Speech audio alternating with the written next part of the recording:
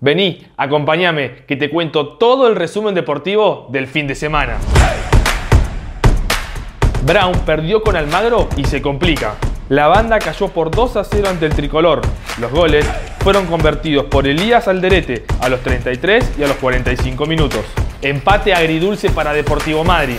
Por la fecha 27, el aurinegro igualó 1 a 1 ante Estudiantes de Buenos Aires en el estadio Abel Sastre. Diego Crego anotó el único gol de los madrinenses. Básquet prefederal. Brown se llevó una valiosa victoria ante Huracán. Por la cuarta fecha del torneo, la banda logró una victoria importante al vencer al Globo por 87 a 77 en el estadio Atilio Biglione. Facundo Varela fue el goleador del partido con 26 puntos. Náutico y un abultado triunfo ante Petroquímica.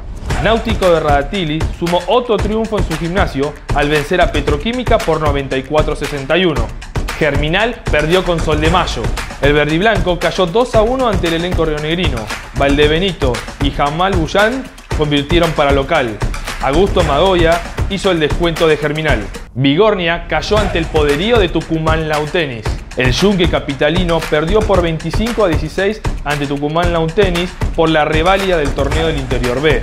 Joaquín Arbe no pudo completar el maratón de Budapest. El esquelense cerró la participación argentina con abandono en el kilómetro 33. El ugandés Víctor Kiplangat se coronó campeón. Arrancó el clausura con victorias de Independiente, Huracán, Racing La Ribera y Moreno. Independiente le ganó 2 a 1 a Dolabon. JJ Moreno derrotó 4 a 0 a Deportivo Roca. Por su parte, el campeón La Ribera le ganó 2 a 0 a Juan Manuel de Rosas. Huracán le ganó 4 a 1 a Alianza Fontana Oeste. Y Racing derrotó 2 a 0 a Everready. La fecha la cierra Germinal versus Atlas a las 4 de la tarde el día miércoles.